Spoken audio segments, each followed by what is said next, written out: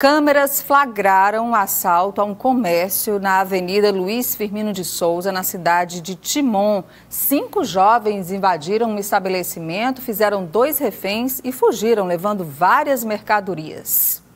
Os criminosos agem sem esconder o rosto e são violentos. A mulher é uma das criminosas que aparece armada. Outro usa uma arma de cano longo. O assalto foi realizado em um comércio na Avenida Luiz Firmino de Souza, em Timon duas pessoas foram feitas reféns durante o arrastão. Segundo informações lá que nós obtivemos com populares, né, eles já vêm várias vezes aterrorizando lá a população lá, mas em nenhum momento eles lá tiveram a coragem de fazer denúncia. Né? Os suspeitos são amigos e, de acordo com a polícia militar, seriam membros de uma facção criminosa.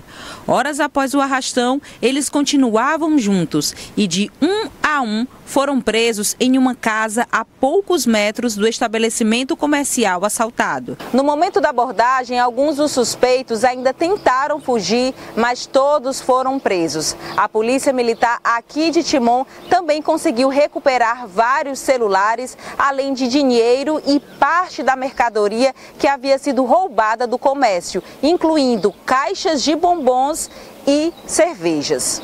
Com as prisões, a Polícia Militar contrariou a expectativa dos suspeitos, que agiram sem esconder o rosto porque acreditavam na impunidade. Como vocês observaram nas imagens, né, eles não temem nem a justiça, parece que para eles não tem muito efeito, que eles estavam não, não procuraram nem esconder o próprio rosto, entendeu? Mas aqui nós estamos aqui para informar a população que podem fazer a denúncia, que a Polícia Militar é 24 horas na rua e nós vamos atender todas as ocorrências que chegaram da nossa demanda e vamos dar a resposta como temos hoje, entendeu?